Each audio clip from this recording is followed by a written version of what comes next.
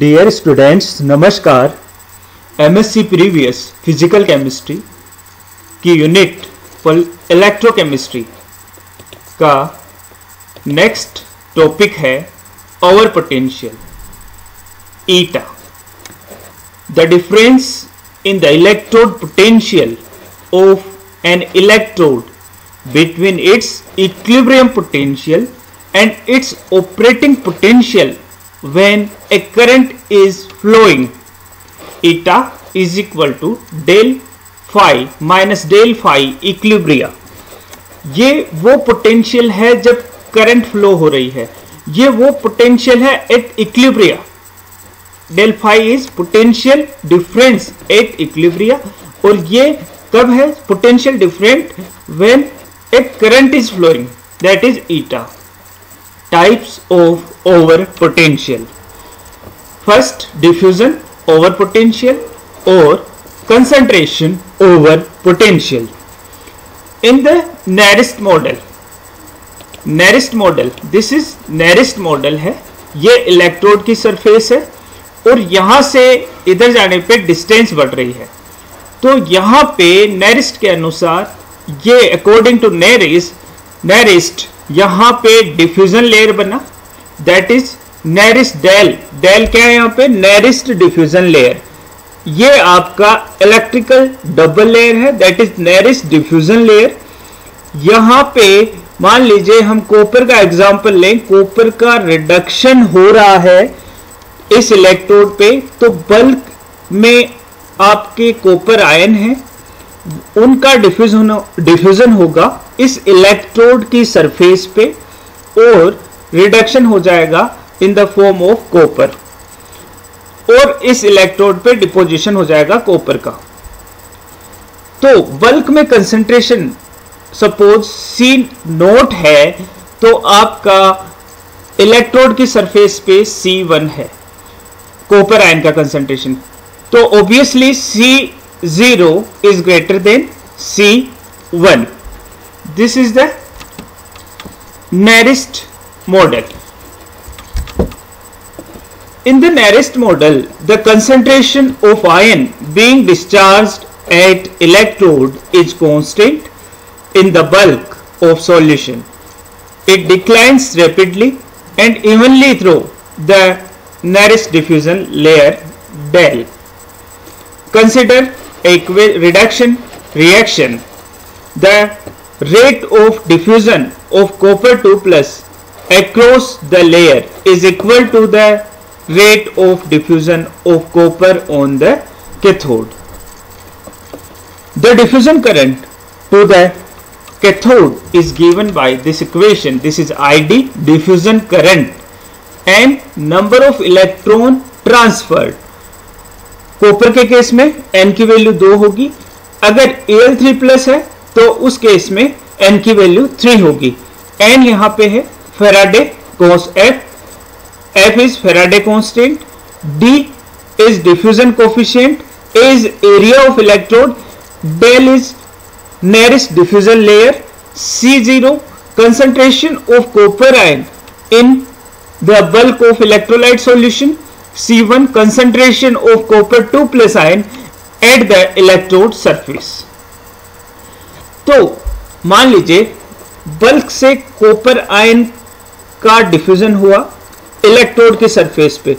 और इलेक्ट्रोड की सरफेस पे आते ही उसका रिडक्शन हो जाता है।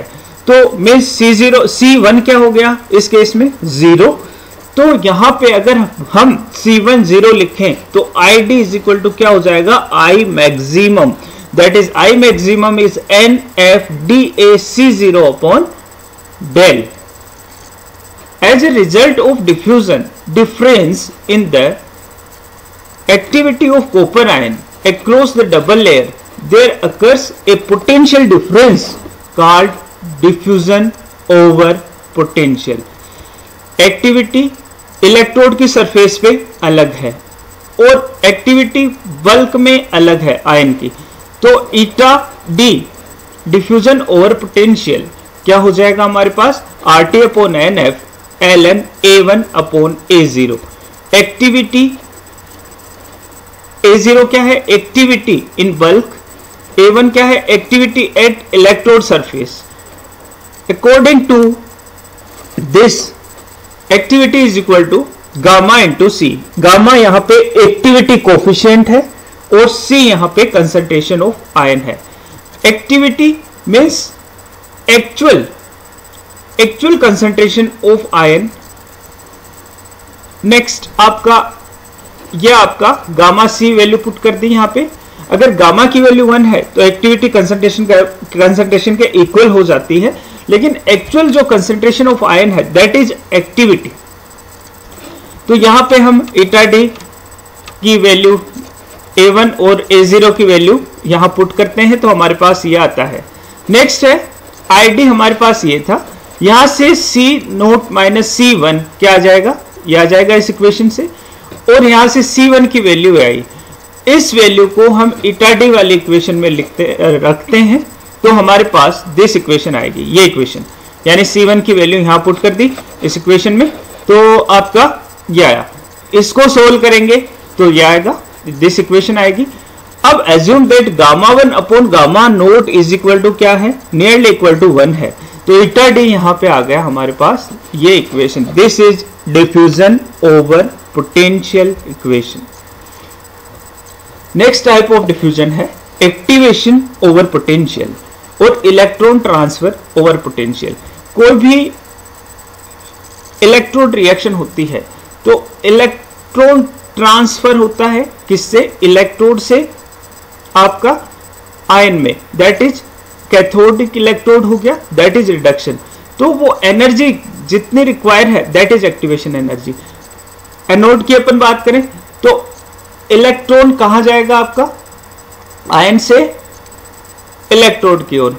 It is referred to the activation energy necessary to transfer an electron from an electrode to an electrolyte that is activation over potential और activation electron transfer over potential next reaction over potential same it is an activation over potential that related to chemical reaction that precede electron transfer next है bubble over potential the difference between the potential of the electrode when gas evolution is actually observed and the theoretical or reversible value for the same evolution is called bubble or potential.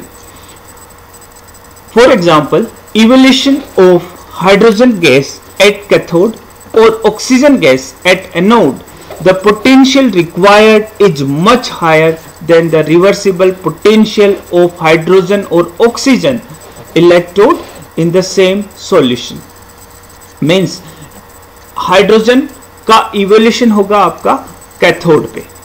तो cathode पे hydrogen evolution reversible condition में कितना होना चाहिए? और actual कितना हो रहा है? दैट इज़ जो डिफरेंस आ रहा है, वो है आपका बबल ओवर पोटेंशियल ऑक्सीजन के केस में ऑक्सीजन का इवोल्यूशन हो रहा है एनोड पे. एनोड पे ऑक्सीजन का रिवर्सिबल कंडीशन में रिवर्सिबल कंडीशन में किस पोटेंशियल पे आपका इवोल्यूशन होना चाहिए, उससे कहीं ज़्यादा हो रहा है तो वो हो गया हमारा जो डिफरेंस है, उसे हम कहेंगे bubble over potential that is hydrogen over potential that is oxygen over potential example और ये डिपेंड करता है इलेक्ट्रोड पे। जैसे हाइड्रोजन और पोटेंशियल की बात करें तो कैडमियम का, यहाँ देखिए मरकरी का हाइड्रोजन और पोटेंशियल कितना ज़्यादा है? 0.8 तो इस रेंज में 0.8 तक हाइड्रोजन का इवोल्यूशन नहीं होगा। डीएमई ड्रॉपिंग मरकरी इलेक्ट्रोड पे। तो उससे पहले खूब सारी जो मेटल आयन है, उनका रिडक्शन हो जाएगा। इसके बाद आपका निकल है 0.22 कैडमियम है 0.48 मींस ये प्रॉपर्टी है आपकी इलेक्ट्रोड की।